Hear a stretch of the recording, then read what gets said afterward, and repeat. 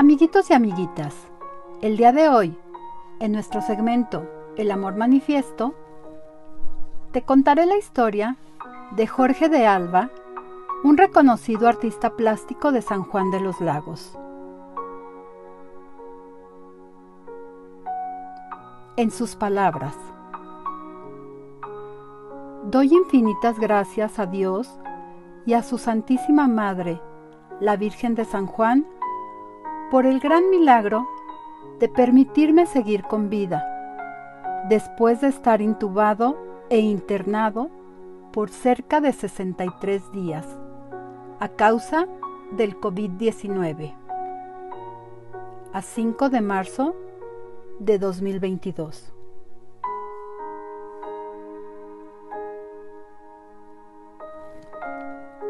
Por tu limpia concepción y belleza sin igual, Cúbrenos con tu manto, Madre Santísima de San Juan. No te olvides de compartir el programa para que más niños conozcan los milagros que Dios obra a través de la Virgen y celebremos con mayor júbilo los 400 años del primer milagro.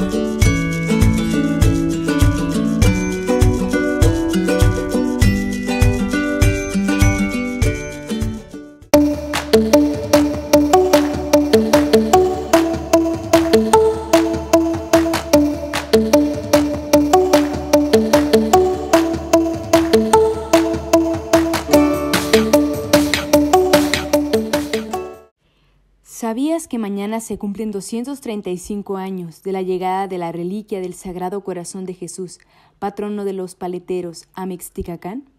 La reliquia consistía de un corazón esculpido en madera, hecha por un escultor de Tlatenango. Este santuario es un lugar histórico que honra al Sagrado Corazón de Jesús. Fue el primero del continente americano en ser consagrado a dicho patrón. En 1788, un hombre llamado Mariano Ávila entregó una reliquia del corazón de Jesús a Ana María Cándida de Jesús Lomelí y a José Antonio Cordero, dando origen al culto al Sagrado Corazón en este lugar. El obispo de Guadalajara, don Juan Cruz Ruiz de Cabañas, edificó el santuario en 1801 y lo erigió como capellanía. En 1950, la decoración del santuario fue finalizada bajo la dirección artística de don Jesús Origel. El pueblo donde se encuentra el santuario se llama El Santuario y está a solo 5 kilómetros de Mexticacán.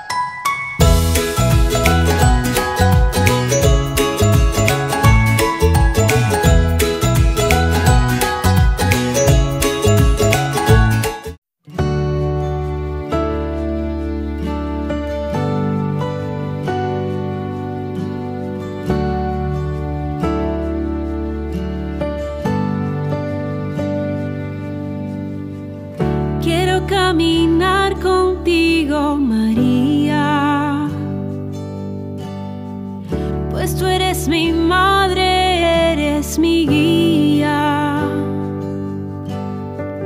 Tú eres para mí el más grande ejemplo de santidad, de humildad.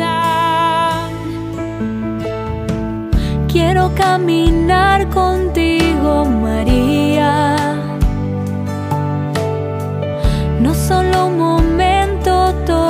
los días.